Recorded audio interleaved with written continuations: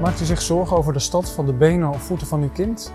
Bij veel kinderen is de stand van de voeten en benen anders dan die bij volwassenen. Deze stand verandert vaak vanzelf als uw zoon of dochter ouder wordt. In het Juliana Kinderziekenhuis werkt een team van gespecialiseerd kinderfysiotherapeuten en kinderorthopeden.